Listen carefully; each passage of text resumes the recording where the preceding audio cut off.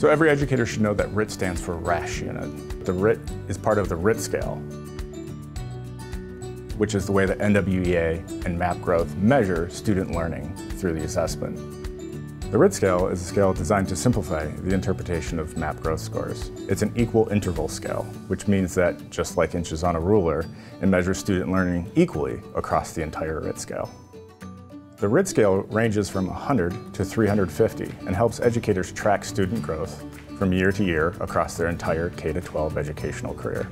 Equal interval means that the difference between the scores is the same regardless of whether the student is at the top, middle, or bottom of the RIT scale. One of the great things about the RIT score and the RIT scale is that it doesn't change based on the age or the grade of the student. That means students can change schools, change districts, change states, and it means the same thing regardless of where they are. I'm Aaron Marion, and I'm the Senior Product Marketing Manager for MAP Growth here at NWEA.